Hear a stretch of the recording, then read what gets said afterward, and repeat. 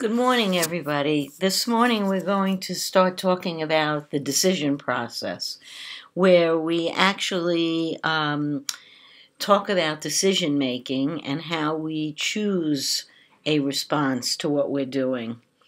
So, this is part of the information processing model, and once you perceive that an action or a stimulus has occurred, then in fact you are up to the decision process. I want you to notice that as we increase the number of choices or the number of stimuli that are presented to an individual, that that would actually increase the difficulty of the task or, in essence, increase the decision making part of the information processing model. So you'll notice that in this slide, we're looking at a very simplified model of information processing. Later on in this slide set, I present to you a more complex information processing model that was presented at first by a man named Welford. And in this simplified model of information processing, you could see that the first part of information processing is the input, and that would be the stimulus coming into the system. Notice that I could have an internal stimulus or an external stimulus. An external stimulus would be a ball coming in my direction that says it's time for me to respond to the grounder or to the line drive or to the high pop to the outfield. Or I might have an alarm that sounds in the morning that tells me that it's time to get up. Or I may actually say to myself, you know what? I need to look in the mirror with a brush in my hand and I have to see the way my hair looks because I want my hair to look really good for the video and that would actually be an internal stimulus. I am providing the stimulus for something that I'm going to do and notice that this is a goal directed movement. It's conscious movement. Once you have input, which would be your stimulus, after that, we go to what's called central processing. We've already talked about the first part of central processing, which would be perception. After perception, if the stimulus is strong enough to be perceived, if it is clear enough and intense enough, and it's important enough to us. In other words, it has pertinence or meaning in our lives. Therefore, it's going to attract our attention, our selective attention. And so at this point, once we have selectively attended to the information, we have to make a decision about what we're going to do with that information. So we are actually in the middle of this central processing unit um, in decision making. And the last part of central processing will be something called effector. Probably next week or the week after, we'll begin to discuss the effector process. So, what is the decision process? The decision process is the place where performers actually develop a plan or a strategy for the movement. The decision process is where the performer takes the information from perception and actually chooses a response. This doesn't mean that we are executing the response yet, but rather this is the input side of the model or the middle part of the model where we've gone from the input and the perception of that input to actually making a decision about the response that we're going to make. We call this decision the motor plan. I want you to remember that we've already talked about the motor pattern. The motor pattern would be described as the output.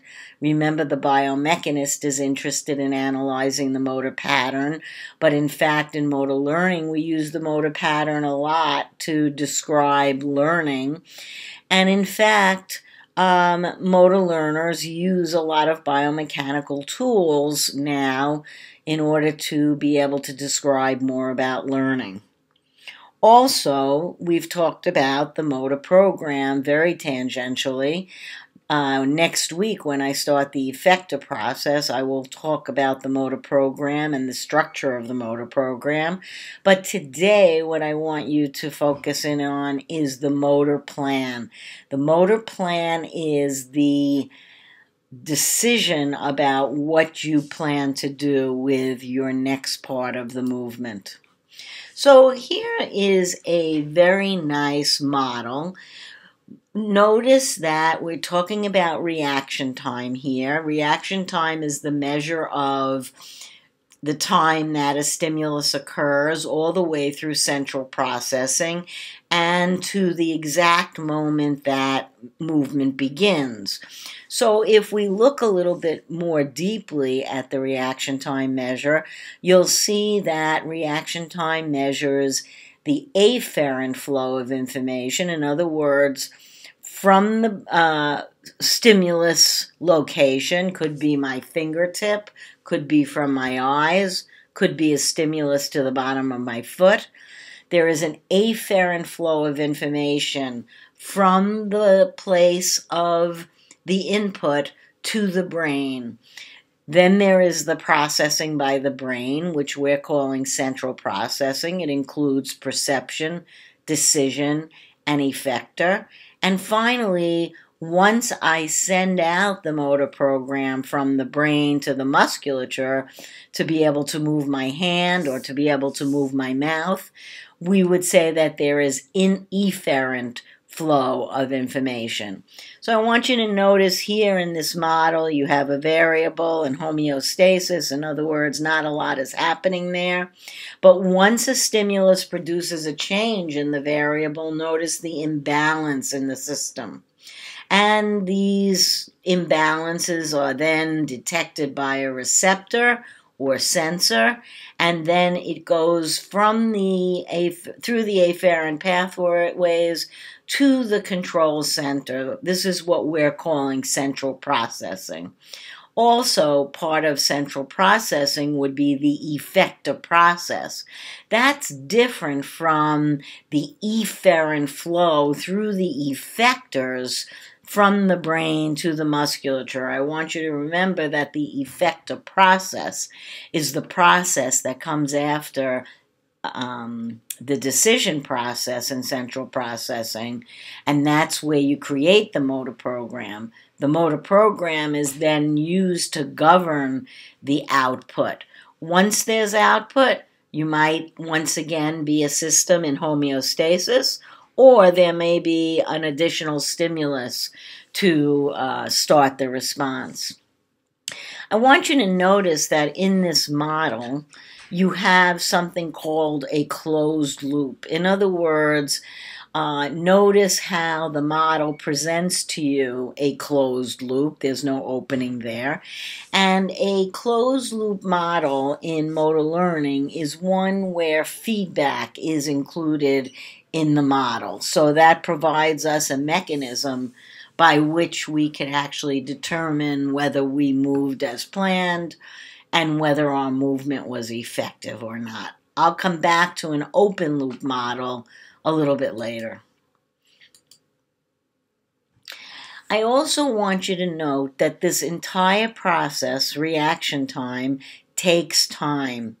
And it's different for auditory signals versus visual signals. An auditory reaction time is approximately, the fastest would be approximately 160 milliseconds, whereas a fast visual reaction time is about 190 milliseconds. Here I'm talking about a simple reaction time. We've discussed this in lab and lecture. A simple reaction time means that there is a single stimulus and a single response to that stimulus.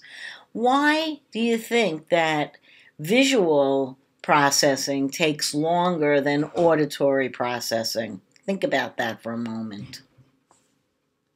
Auditory reaction time will be faster than visual reaction time because auditory reaction time is not subjected to the rods and cones and the turning over of the image as in visual reaction time.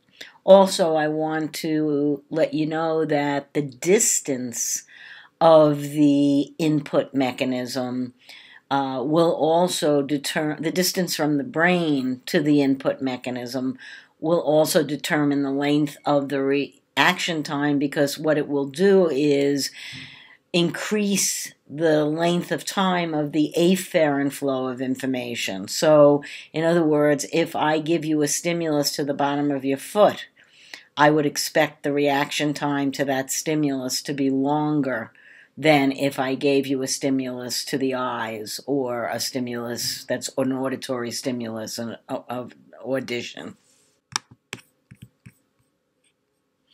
I'd like for you to study these next several slides, actually, uh, two of them, and be familiar with these definitions of fractionated reaction time and looking at premotor, motor, and total reaction time. We're also going to go over this in the lab this week.